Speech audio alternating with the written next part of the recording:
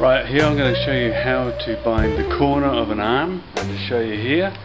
Um, you can see that uh, this is a normal L-shaped piece, so pretend this is the uh, arm of your chair, of the chair and uh, generally there's a whole bit of binding that sits across that piece to hold it in place nice and tight so I'm going to show you exactly how we do that. Okay before you get started make sure you soak the uh, rattan peel in water for a few minutes and uh, get some PVA glue because you're going to need that to really make a nice tight uh, join and it, uh, it really secures the binding to the uh, leg or the arm of the chair and you need a staple gun or a couple of very small brads and, and then we'll start.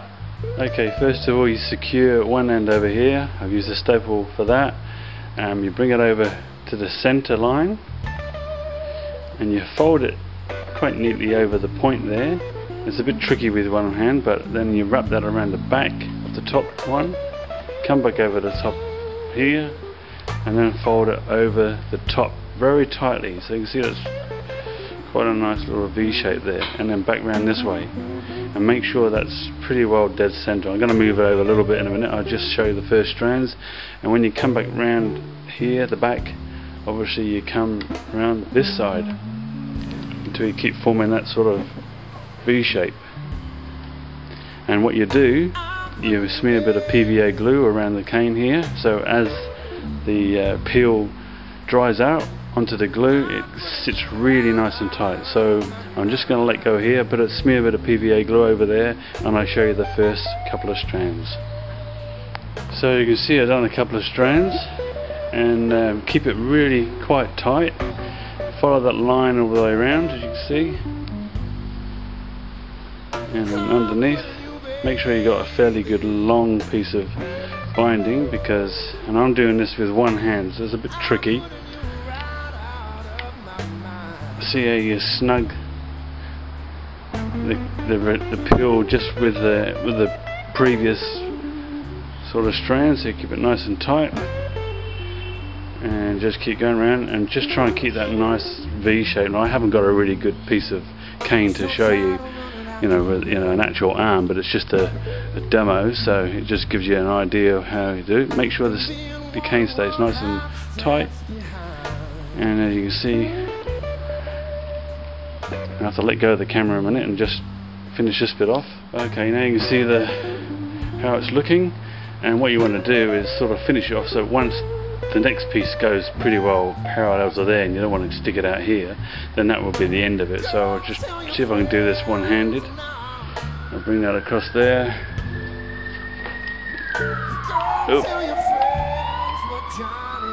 Someone's had a nasty accident by the sounds of it. Bring that round.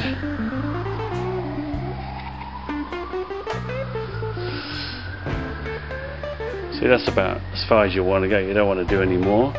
And all you do now is bring that around. And I shall stick this piece underneath that one pull it tight and then I put a little brad there. Now you can put it at the top here or you can put it underneath there. It's up to you. And just finish that off now. There you go. A bit tricky as I say one hand. I put it as fairly tight as I can No. Okay, there you have it.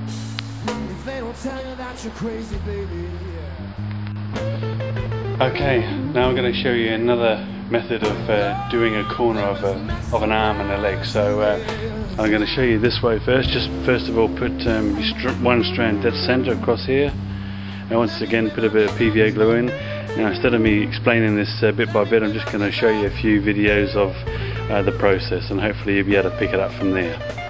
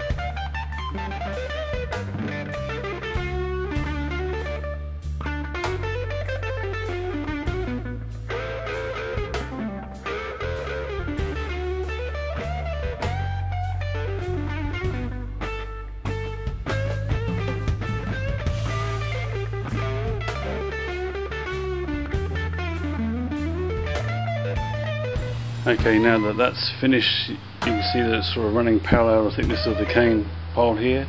So now we want to um, bind this bit and bind the bottom bit to cover all these little end bits. So what I do is I'm going to start over here, wrap it around and then come underneath and wrap around the bottom. So you can see I put a bit of PVA glue on there, so just gently wrap it around. Make sure this distance here is going to be the same down there. There we go. Make sure it's nice and tight, keep wrapping around. And obviously if you work it out right, you should have come exactly out so that you're not overlapping this piece here.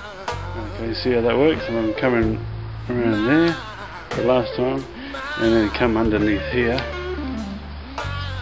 Put it nice and tight and then come around this way and finish it off. There you go, and I finish off at the back here so it's nice and tidy. Put a little brad in, cut the excess off, wipe off any glue and there's another joint. You can obviously, actually you can make a few different patterns out of this if you've got time and patience for it, but generally that's a, a straightforward um, joint. And what I'm going to do now is show you how we do a join on here, or at least a locking weave on there. But uh, there you go. Okay, now I'm going to show you one that's uh, quite common. There's a joint on here. Um, for demonstration purposes, I'm not going to put the glue on this one but uh, wrap it around a couple of times here. I'm going to try and do this one by one hand with one hand. And uh, once you've done a couple of couple of lengths of that depending how you want to do it is then you come under here sorry underneath here. Bring that around.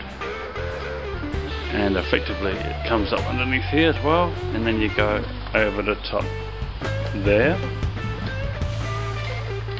Okay. I'm still holding this one hand. And then I'm back parallel to this one. Go underneath there. I'm just going to stop the video a sec just so I can get all the binding untangled. You can see this sort of V shape coming here and uh, so I'm just going to bring it around again. And then once again up this way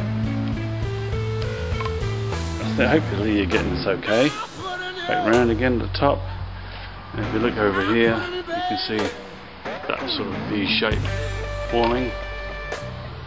I'll um, lift this piece of cane up in a minute so you can get a better idea of what it looks like, but I'm just going to finish this off. You can get the process of it, just keep going around. So, running parallel with the other strand. Keep doing that and uh, I'll show you in a sec what it looks like when it's finished off because you don't want to keep going down here of course. You normally have that piece of cane sort of level with there if you and that should uh, hold it and look pretty good. Okay you can see I've done uh, the lock now and all I'm going to do is just go over a couple of times here. It's entirely up to you how you want to finish it off but I'm just going to go a few strands around here and then uh, so it sort of runs parallel to this bit here. And uh, that's about it. So I just secure this and then you can see what it looks like. So there we have it. See what it looks like underneath. Uh, so that's um, a pretty good solid joint in binding. Okay there you have it. Hopefully um, that's made it easy for you to um, do any joints now. It's not difficult. Uh, practice makes perfect, as I say. Uh, don't forget to add a bit of PVA glue and wipe off any excess and you should have a nice, uh, very secure joint. Till next time.